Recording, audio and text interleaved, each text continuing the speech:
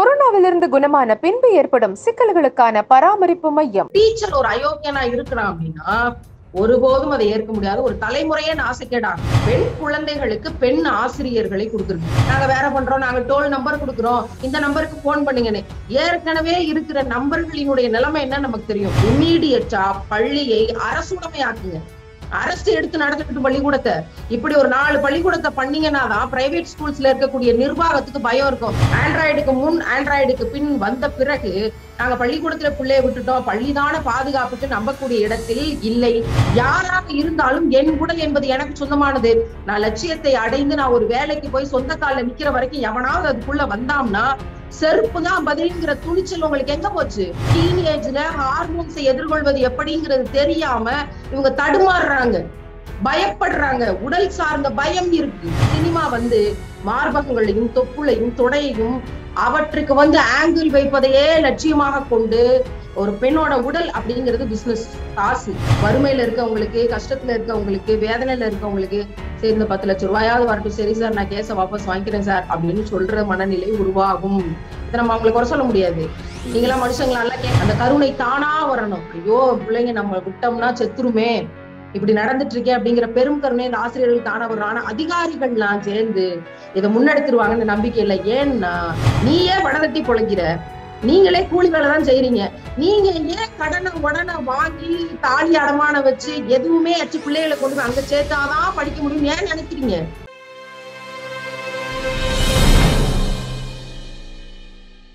நக்கீரன் நேயர்களுக்கு வணக்கம். இன்று நம்முடன் கருத்துக்களை பகிர்ந்து கொள்ள இணைந்திருக்கிறார் ஆசிரியை சபரிமாலா அவர்கள். அவரை வரவேற்போம். வணக்கம் வணக்கம். சமீபத்தில் கோவை மாணவி தற்கொலை செய்து கொண்ட சம்பவம் தான் தமிழ்நாடு முழுவதும் அதிர்ச்சியை ஏற்படுத்தியிருக்கு. சென்னையில் பிஎஸ்பிபி பள்ளியில் மாணவி மாணவிகளுக்கு ஆன்லைன் கிளாஸ் நடக்கும்பொழுது ஒரு ஆசிரியர் தவறாக நடந்து கொண்ட விதம் பெரும் பரபரப்பாக பேசப்பட்டு அது கைது நடவடிக்கை வரைக்கும் போச்சு. இனிமே இது போன்ற தவறுகள் நடக்கக்கூடாது என பல்வேறு தரப்பில் இருந்து கண்டனங்கள் எழுந்தது. இந்த ஆசிரியர் ஆசிரியர்கள் மாணவிகள்கிட்ட தவறாக நடந்துக்கக்கூடாதுங்கிறது மாதிரி. இப்போ அது அதுக்கப்புறம் இப்போ கோவையில் இந்த மாதிரி ஒரு சம்பவம் நடந்திருக்கு. நேரடியாக போய் நீங்களும் அவங்க பெற்றோர்கள் எல்லாத்தையும் இப்போ சந்திச்சிருக்கீங்க. நடந்த சம்பவம் முழுவாக உங்களுக்கு தெரியும். இது போன்ற சம்பவம் நடக்கக்கூடாது அப்படின்னு எல்லாரும் போராடிக்கிட்டு வந்துருக்க நிலையில் மீண்டும் ஒரு சம்பவம் நடந்திருக்கிறத எப்படி பார்க்குறீங்க பிஎஸ்பிபி இஷ்யூவில் பள்ளி கல்வித்துறை தமிழக அரசு எல்லாரும் தலையிட்டாங்க. அறிக்கை கொடுத்தாங்க. அதையே நான் பெரிய மகிழ்ச்சியா பார்த்தேன். ஏன்னா இதற்கு முன்னாடி இருக்கக்கூடிய அரசாங்கங்கள் அதை செய்ய மறுத்துச்சு.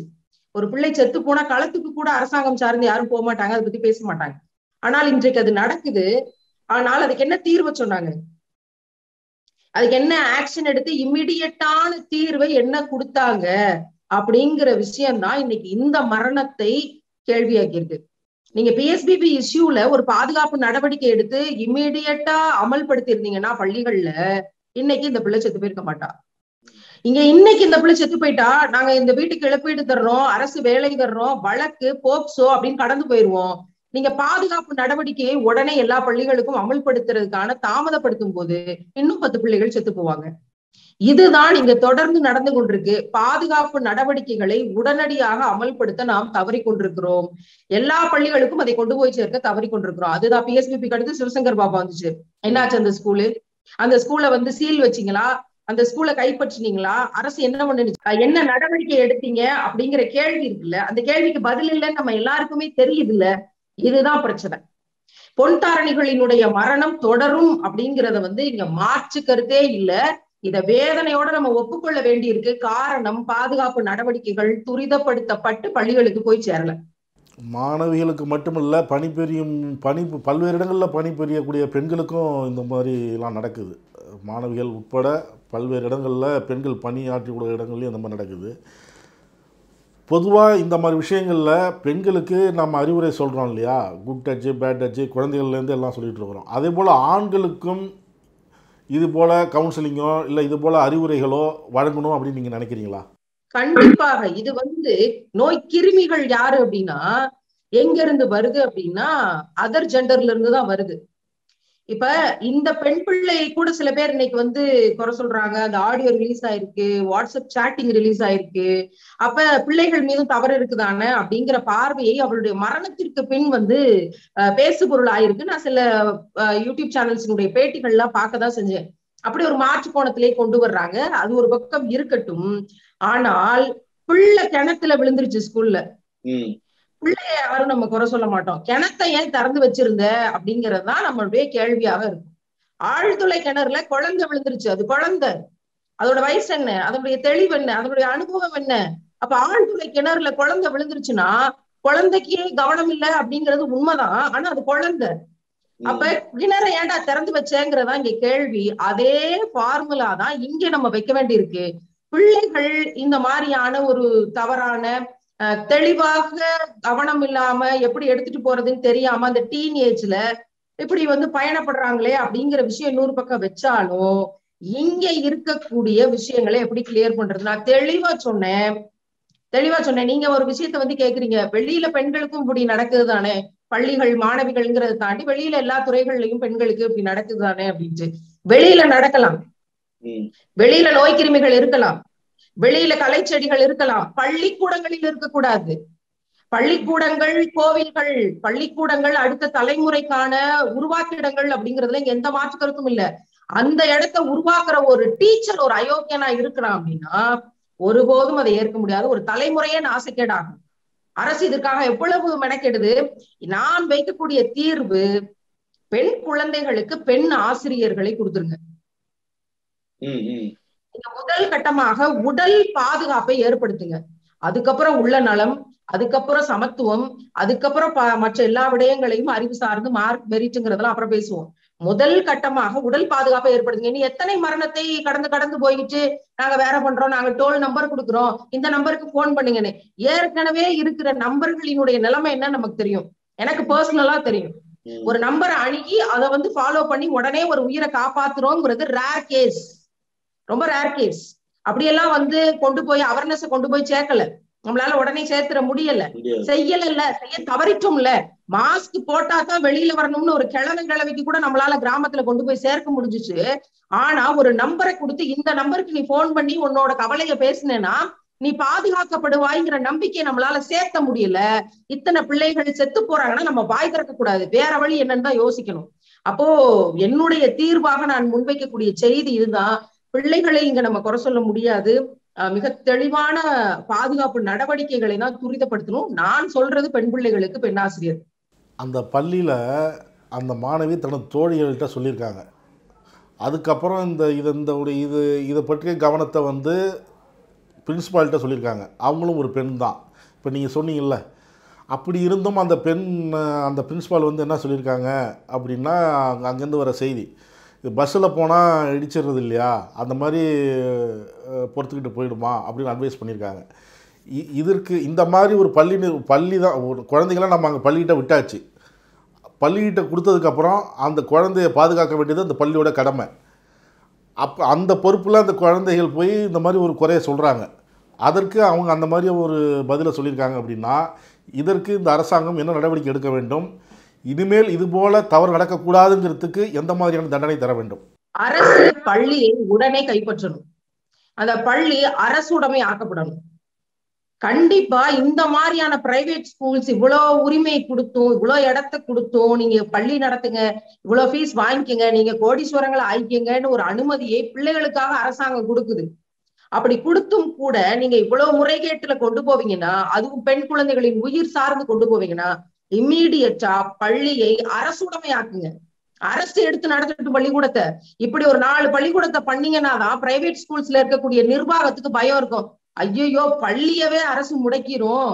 நம்ம ஒரு பிள்ளைக்கு பார்த்து ஸ்கூல் பேர் கெட்டு போயிரும்னு நினைச்சு இன்னைக்கு இந்த ஆசிரியரை காப்பாத்த நினைச்சா பள்ளிக்கூடமே கைவிட்டு போயிருங்கிற பயம் உருவாக்கப்பட்டால் ஒழிய இது மாதிரி பள்ளி நிர்வாகத்தில் மீரா ஜாக்சன் போன்ற ஆட்களை நம்மளால திருத்த முடியாது மாற்ற முடியாது. ஏன்னா இவங்க எல்லாம் என்ன பெல்ட்ல இருந்து இந்த வேலையை செய்து கொண்டிருக்கிறார்கள் நமக்கு தெரியும். அப்படி இருக்கும்போது பள்ளிகளை அச்சுறுத்தல் அப்படிங்கறது வந்து இது இப்படித்தான் சொல்ல முடியும். நீங்கள் மறைத்தால் சம்பந்தப்பட்ட ஆசிரியரை வந்து காப்பாத்தணும்னு நினைச்சா சம்பந்தப்பட்ட அக்யூஸ்ட் ஆசிரியர்னு சொல்ல முடியாது. அக்யூஸ்ட காப்பாத்தணும்னு நினைச்சா பள்ளியை அரசு கைப்பற்றும் பள்ளி அரசுடைமை ஆக்கப்படும்ங்கிற அதிரடியான முடிவை அறிவிச்சீங்க.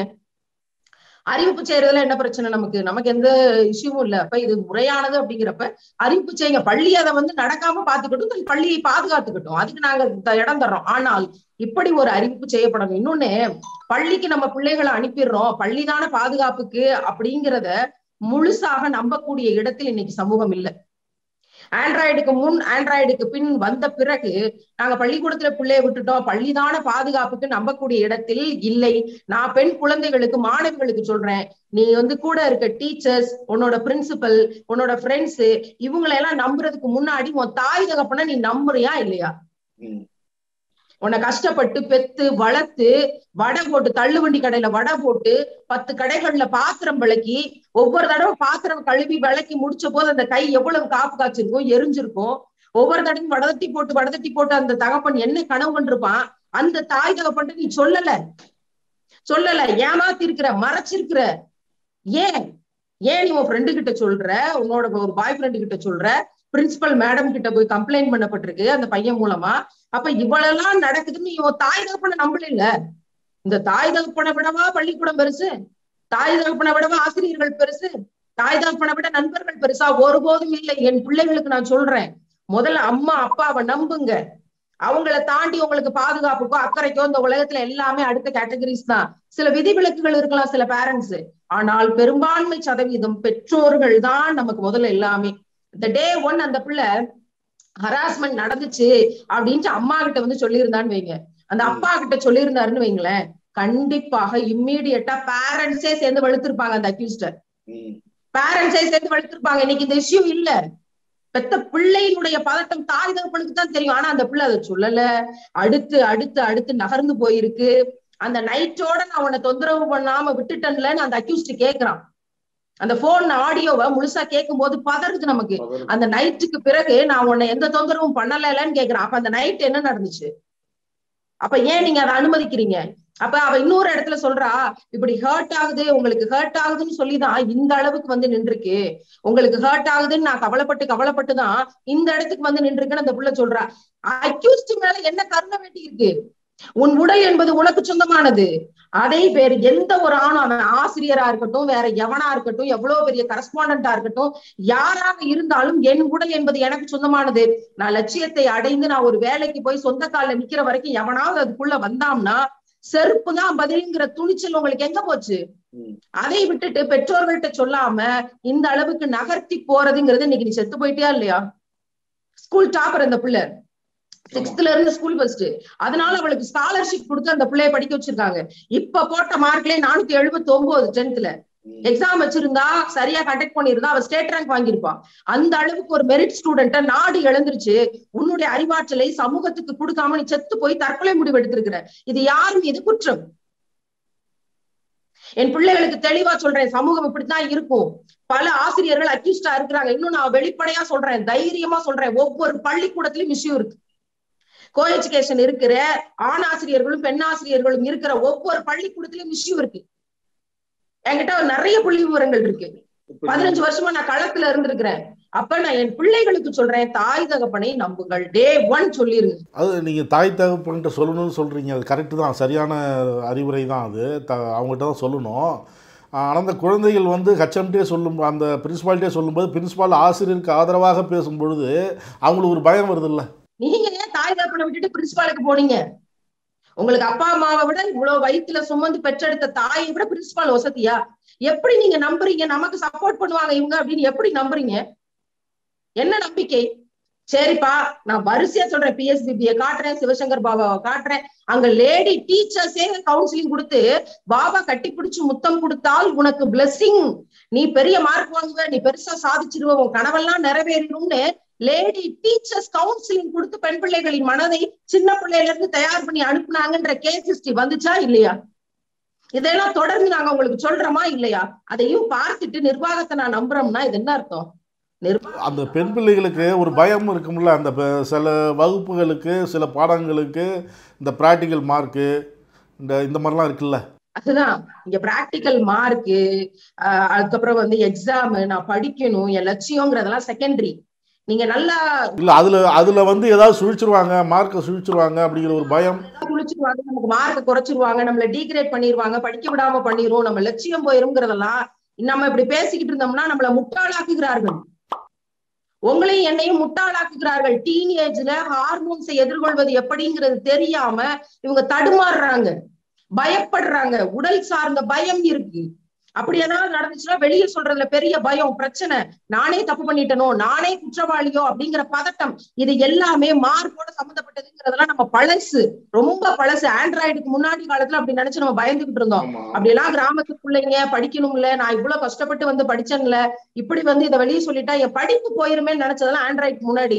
இன்னைக்கு ஹார்மோன்களை எதிர்கொள்வது எப்படின்னு தெரியாம டீனேஜ்ல உடல் சார்ந்த தெளிவு இல்லாமல் பிள்ளைகள் தன்னை பார்த்தே தான் பயப்படக்கூடிய சுச்சுவேஷன்ல இருக்காங்கங்கிறத ஒத்துக்கிட்டே ஆகணும். இதை ஒத்துக்கலைன்னா நம்ம இதுக்கான ரெமெடியை நோக்கி நகர முடியாது. இல்லை இவ்வளவு விழிப்புணர்வு வந்து பெண்கள் பயப்ப அந்த பெண் குழந்தைகள் பயப்படுதில்ல எந்த அப்போ கரெக்டாக அவங்களுக்கான அந்த அந்த புரிதல் இருக்குல்ல அந்த குட் டச்சு பேட் டச்சு அது வந்து நம்ம எல்கேஜி யூகேஜிலேயே குழந்தைகளுக்கே சொல்லித்தர சொல்கிறோம் குழந்தைகளுக்கு சொல்லித்தர சொல்கிறாங்க இப்போ இவங்க வந்து மேல்நிலை படிக்கக்கூடிய மாணவி.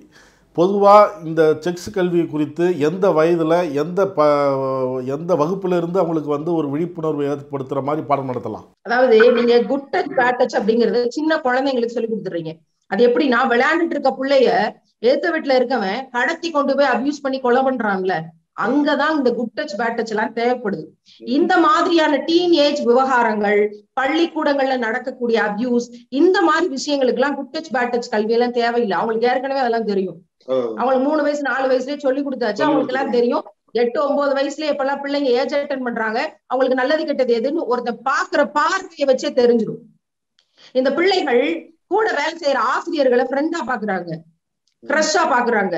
அவங்களோட கடலை போடுகிறார்கள் கலாய்க்கிறார்கள். இதெல்லாம் அவங்களே எனக்கு கொடுத்த ஸ்டேட்மெண்ட் நான் தொடர்ந்து பிள்ளைகளோட இணைப்புல இருக்கேன். பத்து லட்சம் மாணவிகளை நான் கண்டினியூஸா சந்திச்சிட்டு இருக்கேன். அந்த டீச்சர் வந்து ஸ்மார்ட்டா இருக்கிறான் அப்படின்னா கடலை போடுகிறார்கள். அவனோட வந்து இணைப்புல இருக்காங்க. பேசணும்னு நினைக்கிறாங்க. இந்த மாதிரியான ஆன்லைன் வகுப்புல ஒரு விதமான டிஸ்கஷன் நடக்குது. அப்ப பிள்ளைகளுக்கு குட் டச் பேட் டச் கல்வி எல்லாம் இங்க தேவையில்லை. தட் மீன்ஸ் ஒன்பது வயதுக்கு பிறகு தேவையில்லை. இப்பெல்லாம் ஏஜ் அட்டன் பண்ற வயது ஒன்பது பத்து அப்படின்னு சராசரியாக மாறிக்கொண்டிருக்கு. இந்த காலகட்டத்துல எட்டு வயதுல இருந்து பதினெட்டு வயது வரைக்கும் அஞ்சு பிரிவுகளா பிரிக்க வேண்டியிருக்கு. எட்டு டு பத்து பத்து டு பன்னெண்டு பன்னெண்டு டு பதினாலு பதினாலு டு பதினாறு பதினாறு டு பதினெட்டு. ஐந்து பிரிவுகளாக பிரித்து வயதிற்கு தகுந்ததை போல இந்த பாலியல் கல்வியை கொண்டு போய் சேர்க்க வேண்டியது அந்த சிலபஸ நான் கண்டினியூஸா களத்துல இருக்கிறதுனால இந்த கேஸ் ஹிஸ்டரிஸ பாக்குறதுனால கிட்டத்தட்ட நாற்பதற்கும் மேற்பட்ட மரணங்களுக்கு நான் நேர்ல போய் நின்று அந்த கேஸ் ஹிஸ்டரிஸை எடுத்திருக்கிறதுனால இவற்றை நான் ஆய்வு செய்து ஒரு சிலபஸே கிட்டத்தட்ட ரெடி பண்ணி வச்சிருக்கேன். அரசின் கரங்கள்ல இதை ஒப்படைக்கணும் அப்படிங்கிற ஒரு தீர்மானத்துல இருக்கேன். அரசு தாமதப்படுத்துகிற பட்சத்தில் நாமவே இதை முன்னெடுக்கணும் அப்படிங்கிற வைராக்கியத்திலையும் இதை கொண்டு போயிட்டு இருக்கேன் அப்ப தீர்வு என்பது தெளிவாக உடல் சார்ந்த புரிதலை கேர்ள்ஸுக்கு மட்டும் இல்ல பாய்ஸுக்கும் சேர்த்து சொல்லி கொடுக்கணும்.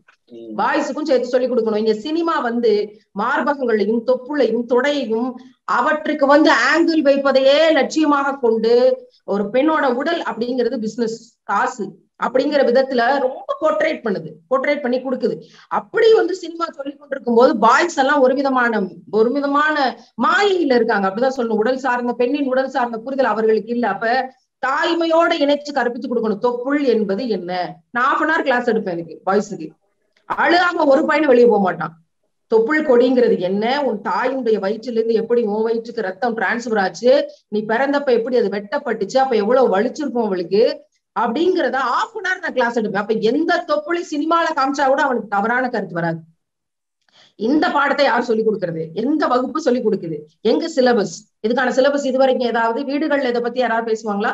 ஸ்கூல்ல இது வரைக்கும் ஏதாவது பேசு பொருள் இருக்கா? நெவர் அப்ப இதை மிக தெளிவாக பிள்ளைகளிடத்துல கொண்டு போய் சேர்க்க வேண்டிய கால அவசியத்துல இருக்கும் குட் டச் பேட் டச் அப்படிங்கிறது வந்து அஞ்சு வயசு குழந்தை வரைக்கும் தான். எட்டாம் கிளாஸ்ல எட்டு வயதுல இருந்து பதினெட்டு வயது வரைக்குமான பிள்ளைகளுக்கு தெளிவான செக்ஸ் எஜுகேஷனை தாய்மையோடு சேர்த்து கற்றுத்தரணும். இல்லைன்னா அது பிள்ளையாகி போகும். அப்படியான வேலைகளை ரொம்ப அவசியமா செய்ய வேண்டியிருக்கு. இந்த மாணவிக்கு நடந்ததில் ஒரு சம்பவம். இதே போல் நடக்கும் பொழுது அந்த பள்ளி நிர்வாகமோ அல்லது அது யார் அந்த சம்பந்தப்பட்ட ஆசிரியர் தரப்போ சம்பந்தப்பட்ட மாணவ மாணவியோட பெற்றோர்கள் அல்லது உறவினர்கள் அழைத்து சமாதானம் பேசுவாங்க. ஒரு குறிப்பிட்ட தொகை. இந்த தொகையை வாங்கிட்டு அமைதியாகிடுங்க நீங்கள் இப்போ நடந்தது நடந்து போச்சு. இனிமேல் என்ன பண்ணுறது நீங்கள் மற்ற இன்னும் குழந்தைகள் இருக்குல்ல அந்த வளர்ச்சியை பாருங்கள் இதை பெருசு பண்ணாதீங்க.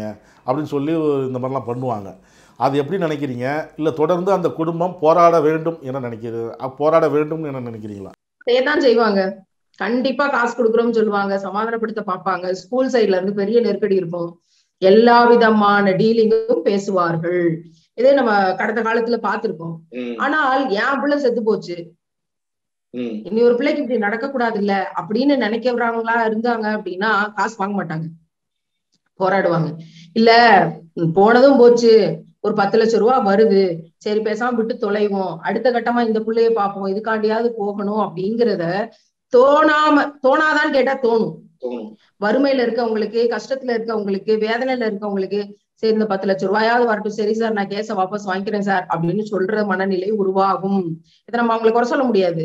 நீங்களா மனுஷங்களா கேட்க முடியாது. அவங்க இடத்துல இருந்து பார்த்தா தான் நமக்கு தெரியும். பார்த்தா ஏனோ. கடையில பாத்திரவழி பார்த்தது நமக்கு தெரியும். இந்த மனநிலை வராம அரசாங்கம் அந்த பத்து லட்சம் ரூபாய் கொடுத்துடணும்.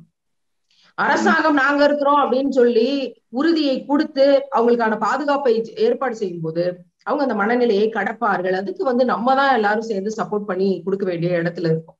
பள்ளிகளில் ப அரசாங்க அதிகாரிகளுக்கும் அந்த க அந்த அதாவது இப்போ அந்த தனியார் நிறுவனம் தனியார் பள்ளியாக இருக்கட்டும் அரசு பள்ளியாக இருக்கட்டும் அதை அந்த பள்ளியை கண்காணிக்கக்கூடிய அதிகாரிகள் இருக்காங்கல்ல டிஇஓ ஏசிஓ அந்த மாதிரி இருக்கிறாங்கல்ல அவங்களுக்கு இது சம்பந்தமாக உடனே நடவடிக்கை எடுக்கக்கூடிய அதிகாரங்கள் இருக்குதா? இல்லை அவங்களுக்கு கொடுக்கப்பட வேண்டுமா? நான் அவர்களை எல்லாம் நம்புவதாக ஒரு கற்பனை கூட என்னால பண்ண முடியாதுன்னு அவர்களை எல்லாம் நம்பல.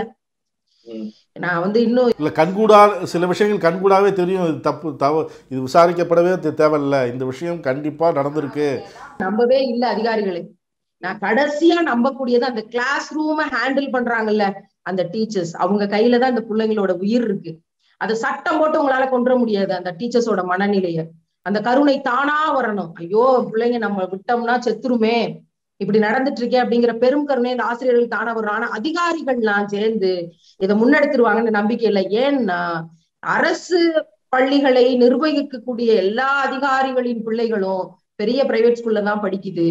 எல்லா அரசு பள்ளி ஆசிரியர்களினுடைய பிள்ளைகளும் பெரிய பிரைவேட் ஸ்கூல்ல பில்டிங்ல தான் படிக்குது. சில விதிவிலக்கான ஆசிரியர்கள் தான் அரசு பள்ளியில பிள்ளைகளை இன்னைக்கு சேர்க்கிறாங்க. அப்படி இருக்கும்போது இவர்களையெல்லாம் நம்பி பெருங்கருணையை எதிர்பார்க்க முடியுமாங்கிற பெரிய வேதனையில இருக்கேன். அதிகாரிகள் இதற்கான நடவடிப்பு கண்காணிப்பு இவற்றையெல்லாம் செய்யணும் கண்டிப்பா செய்யணும். ஆனால் செய்ய மாட்டாங்க. இல்லை இப்போது உள்ள அரசு வந்து இப்போ அமி அமைச்சர் நேர்லே போய் உரிய நடவடிக்கை எடுக்கப்படும் விசாரணை ந- நடந்துட்டு இருக்கு அப்படிலாம் சொல்றாரு. அது மேல உங்களுக்கு நம்பிக்கை இருக்கா இல்லையா? சொல்லியிருக்காங்க எனக்கு. எனக்கு இது பெரிய விஷயமா இருக்கு. இது ஒரு பெரிய மாற்றமா இருக்கு. என்னன்னா இதுக்கு முன்னாடி நான் நாற்பது பிள்ளைகளின் நாற்பத்தி எட்டு பிள்ளைகளின் மரணத்தை நான் பார்த்திருக்கேன். ஒரு அமைச்சர் எங்கேயும் வரமாட்டாங்க. ஆனா இங்க ரெண்டு அமைச்சர்கள் வர்றாங்க எம்பி வர்றாங்க எம்எல்ஏ வர்றாங்க எல்லாரும் வந்து ஒரு ஃபார்மாலிட்டிக்காவது நாங்க இருக்கோம் சொல்லிட்டு போறாங்க. அரசு நேரடியாக தலையிடும்னு சொல்லுது. இதெல்லாமே ஒரு பெரிய மாற்றமா வரவேற்கத்தக்க மாற்றமா பாக்குறேன் ஆனால் இது ஒரு சட்டம் போட்டு கொண்டு வரப்படுமா அதிகாரிகளிடத்துல டிஓ சிஇஓ ஏஇஓஸ் இருக்கிறாங்க. இவங்களுக்கு எல்லாம் ஒரு சட்டத்தை போட்டு ஒரு ஜீவோ போட்டு நீங்க எல்லாம் கண்காணிப்பு செய்யுங்க. இனிமே பள்ளிக்கூடத்துல நடக்கக்கூடாதுன்னு ஒரு ஜீவோ போட்டு வருமானா வராது. அதெல்லாம் தானாக மனிதன் அந்த மனிதம் அப்படிங்கிற அடிப்படையில கருணையின் அடிப்படையில தானா வரணும். ஏன்னா அவங்க வீட்டுல பெண்கள் இருப்பாங்க பெண் குழந்தைகள் இருப்பாங்க எல்லார் வீட்லயும் பெண்கள் இருக்காங்க. அப்ப அது தானாக வந்திருக்கணும் இந்நேரம். அது சட்டம் போட்டு வராதுங்கிறதுல நான் ரொம்ப கவனமா இருக்கேன். அதனாலதான் அதை ஒட்டுமொத்தமா டீச்சர்ஸோட கையில நான் ஒப்படைக்கிறேன். அதாவது தண்டனையால் ஒருத்தவங்களை திருத்த முடியாது தானாக அந்த உணர்வு வரணும்னு சொல்ல வரீங்க. கண்டிப்பா. அதுவும் அதிகாரிகளை பொறுத்த மட்டும் இல்ல அந்த பெருங்கருணை தானா இருந்துச்சுன்னா அவங்க ஆட்டோமேட்டிக்கா கண்காணிச்சிருப்பாங்களே. ரெகுலர் இன்ஸ்பெக்ஷன் போயிருப்பாங்களே. ஸ்டாஃப் பத்தின கேஸ் ஹிஸ்டரி எடுத்திருப்பாங்களே. அதெல்லாம் கடமை இருக்கு உங்களுக்கு ஒவ்வொரு ஸ்டாஃபினுடைய கேரக்டர் பிஹேவியர் என்ன அப்படிங்கறத ஆய்வு செய்ய வேண்டிய கடமை அவர்களுக்கு இருக்கிறது. தனியார் பள்ளிகளை பொறுத்த வரைக்கும் நீங்க சொல்லவே வேண்டியது இல்லை அதிகாரிகள் போவாங்க கவனிப்பாங்க காசு கொடுப்பாங்க வந்துருவாங்க. இது பெரும்பாலான இடத்துல நடக்குது. இத வந்து எதிர்த்து மாற்று கருத்தெல்லாம் சொல்றதுக்கு ஒண்ணுமே இல்லை. அப்பட்டமா நமக்கே தெரியும் இன்ஸ்பெக்ஷன்ஸ் தனியார் பள்ளிகள்ல எந்த மாதிரியா நடக்குது? அரசு பள்ளிகள்ல இன்ஸ்பெக்ஷன்ஸ் ஒழுங்கா நடந்திருந்தா ஏன் பெரும்பாலான அரசு பள்ளிகள்ல டாய்லெட்ஸ் இல்ல. ஏகப்பட்ட இஷ்யூஸ் இங்க இருக்கிறதுனால அதிகாரிகள் மீதான நம்பிக்கையெல்லாம் இழந்து பலகாலமாச்சு. நம்ம வேணா ஒரு கோரிக்கை முன்வைக்கலாம். இனிமே இப்படி செய்யுங்க. அப்படின்னு எல்லாமே நம்பிக்கை சார்ந்தது தானே நம்ம போற பயணம் எல்லாமே. அப்போ ஒரு நம்பிக்கையின் அடிப்படையில இனிமே இப்படி செய்யுங்க. இனிமே இப்படி ஒரு முன்னெடுப்பு செய்யுங்க அப்படின்னு மாற்றத்துக்காக காத்திருக்கலாம். வசதியான குழந்தைகளுக்கு இந்த மாதிரி பிரச்சனை வந்தால் பெற்றோருடையமோ இல்லை யார்கிட்டயாவது சொல்லி ஸ்கூலை மாற்றிக்கலாம் அப்படின்னு. வசதி இல்லாத குழந்தைகள் இது போல் அங்கே பிரச்சனைகள் சந்திக்கும் பொழுது அவங்க பெற்றோரிடம் எப்படி அந்த குழந்தைகளை வந்து சொல்லணும்? இல்லை அவங்க பெற்றோரோட சொ சொல்ல தயக்கமாக இருந்ததுன்னா எப்படி அந்த பிரச்சனை அந்த குழந்தைகள் வந்து அதை வந்து கையாளணும்? இப்ப இந்த வசதியான பிள்ளைகள் வசதி இல்லாத பிள்ளைகள் பள்ளிகள்ல அபியூஸ் அப்படிங்கறத கனெக்ட் பண்ணி பாருங்க. அரசு பள்ளிகளை எவ்வளவு கேவலமாக நீங்கள் நினைக்கிறீர்கள்னு யோசிச்சு பாருங்க. அரசு பள்ளிகள் சார்ந்த பார்வை இல்ல அரசு பள்ளிகள் சார்ந்த பார்வை பேரண்ட்ஸ் கிட்ட எப்படி இருக்குன்னு பாருங்க. உனக்கு வசதி இல்ல இல்ல. நீ ஏற்கனவே கூலி வேலை தானே செய்யற. நீயே சின்மயா வித்யாலயால பிள்ளையை கொண்டு போய் சேர்க்கணும்னு நினைக்கிறேன் அப்ப அந்த ஊர்ல இருக்க அரசு பள்ளியில படிச்சா அவன் உருப்படவே மாட்டானா? அந்த பிள்ளை உருப்படவே உருப்படாதா? அந்த பிள்ளைகள் சாதிக்க மாட்டார்களா? இது என்னுடைய கேள்வி. பிஎஸ்பிபி என்ன ஒரு பெரிய பணக்கார பள்ளிக்கூடம். அங்க கொண்டு போய் ரேங்க் ரேங்க் பட்டியல்ல இருக்கக்கூடிய பள்ளிக்கூடம். அங்க கொண்டு போய் சேர்த்தாதான் என் பிள்ளை வந்து பெரிய இடத்துல வரும்னு பேரண்ட்ஸ் ஏன் நினைக்கிறீங்க? அப்ப அந்த ஊர்ல இருக்க அரசு பள்ளி வந்து உருப்படவே வாய்ப்பே இல்ல. நீங்க பணக்கார பிள்ளைகள் கொண்டு போய் பிஎஸ்பிபிலையும் சின்மயா வித்யாலயிலையும் படிக்க வைக்கிறதுல கவலை இல்லைங்க. நீயே வடதட்டி பொழைக்கிற நீங்களே கூலி வேலை தான் செய்யறீங்க நீங்க ஏன் கடனை உடனே வாங்கி தாலி அடமான வச்சு எதுவுமே அச்சு பிள்ளைகளை கொண்டு போய் அங்க சேர்த்தாதான் படிக்க முடியும் ஏன் நினைக்கிறீங்க? எத்தனை பேரை ஆதாரத்துக்கு காட்ட முடியும்? அரசு பள்ளிகளில் படித்து இலவசமாக படித்து அரசு கொடுத்த சலுகைகளை ஏற்று எத்தனை பெரிய இடங்களுக்கு உயர்ந்தவர்களை அப்துல் கலாம் தொடங்கின இன்னைக்கு வரைக்கும் என்னால காட்ட முடியுமே? இன்னைக்கு வரைக்கும் காட்ட முடியும். இந்த மனப்பான்மையை முதல்ல உடைங்க. நீங்க கேட்டதுனால இந்த பதில நான் சொல்ல வேண்டி வருது. அப்ப வசதி படைத்த பிள்ளைகள் ஸ்கூல்ல மாத்தி இல்லை ஒவ்வொருத்தருமே கஷ்ட நான் தான் இப்படி கஷ்டப்பட்டேன் என் புள்ள நல்லா படிக்கட்டும் தான் கான்வெண்ட்டில் படிக்க வைக்கிறேன் அப்படின்ட்டு கூலி எல்லாருமே சேர்க்குறாங்க. இதுதான் பிரச்சனை. அப்படி நினைக்க வேண்டியது இல்ல நீங்க நான் தான் கஷ்டப்பட்டேன் என் புள்ள படிக்கணும்னு நினைங்க. என் புள்ள சின்மயா வித்யாலயால தான் படிக்கணும்னு நினைக்காதீங்க. நினைக்காதீங்க. என்கிட்ட காசு இல்ல என்கிட்ட வசதி இல்ல. என் புள்ள அரசு பள்ளியில படிக்கட்டும். படிக்கிற பிள்ளை எங்க இருந்தாலும் படிக்கும் ஒரு டீச்சரா சொல்றேன். படிக்கிற பிள்ளை திறமையுள்ள பிள்ளை எங்க இருந்தாலும் படிச்சு சாதிக்கும். அது ஸ்கூல் காரணம் அல்ல டீச்சர்ஸ் காரணம் இல்ல. அந்த பிள்ளைக்குள்ள இருக்கிற பேராற்றல் அவ படிப்பா. இவ வந்து சிக்ஸ்த்ல இருந்து ஸ்கூல் டாப்பர்னா அந்த ஐக்கியம் அவளுக்கு இருக்குன்னா அவ எங்க இருந்தாலும் படிப்பா. இந்த சர்டிபிகேட்னால கொடுக்க முடியும். நீங்க ஏன் இவ்வளவு கஷ்டப்பட்டு இந்த தருதலைகள்கிட்ட கொண்டு போய் ஒப்படைச்சு அவன் பேசுற இங்கிலீஷ் எல்லாம் கேட்கும் போது எனக்கு அப்படியே எரியுது உடம்பெல்லாம். இந்த அறிவாற்றலை இந்த புலமையை நீங்க இந்த லட்சணத்துக்கு தான் பயன்படுத்துவீங்களாடா அப்படின்ட்டு. அப்ப இந்த விடயத்தை பயன்படுத்தி இதை சொல்ல வேண்டி இருக்கு கஷ்டப்படுறீங்க பொருளாதாரத்துல பின்தங்கி இருக்கீங்கன்னா யோசிக்காம அரசு பள்ளியில சேருங்க. அங்க கல்வி சரியில்லை கல்வி கிடைக்கல அப்படின்னா அதுக்காக போராடுங்க. பெற்றோர்கள் சேர்ந்து அதுக்காக போராடுங்க. அதை விட்டு விட்டு அரசு பள்ளியில சேர்த்தா என் பிள்ளை வழங்காது. இந்த பள்ளிக்கூடத்துல சேர்த்து நான் தான் படிக்கல இங்க சேர்த்தா என் பிள்ளை பெரிய ஆளா இருந்தா அப்போ பிள்ளை உசிரே போச்சு இல்ல. இதெல்லாம் வந்து யோசிக்கணும் இதெல்லாம் யோசிக்கணும். கடினப்பட்டு கொண்டிருக்கிற கூலி வேலை செய்கிற பெற்றோர்கள் தயவு செய்து இதை யோசிங்க. அதுதான் பெற்றோர்களுக்கு சொல்ல வேண்டியது இருக்கு. கருத்துக்களை பகிர்ந்து கொண்டதற்கு நன்றி. நன்றி. நக்கீரன் டிவிக்கு சப்ஸ்கிரைப் செய்யுங்கள். உங்கள் ஆதரவே எங்கள் பலம் ஆசிரியர்களுக்கு நண்பனாகவும் மாணவர்களுக்கு ஆசானாகவும் திகழும் தேர்வு வழிகாட்டி. ஒவ்வொரு பாடத்திற்கும் அனுபவமிக்க ஆசிரியர்களின் துல்லியமான தெளிவான விடைகள். சிஎன்சி இருக்கு தேர்வு பயம் எதற்கு? இது தீரன் பப்ளிஷிங் ஹவுஸ் விற்பனை வெளியீடு.